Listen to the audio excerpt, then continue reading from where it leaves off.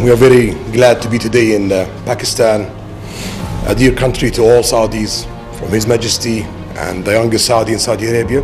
We've been a brotherly country, country and friendly country to Pakistan, and we've worked together in tough and good times, and we will continue the same thing.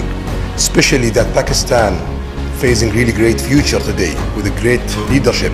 Uh, last year, 2018, Pakistan GDP grew uh, by 5%. So uh, we believe that Pakistan gonna be very, very important country in the coming future, and we want to be sure that we are part of that. Today we signed the MOUs. We believe it's the amount of that kind of investment is 20 billion US dollar. It's big for phase one, and uh, definitely it's gonna grow every month, every year in bigger numbers, and it will be beneficial for both uh, countries.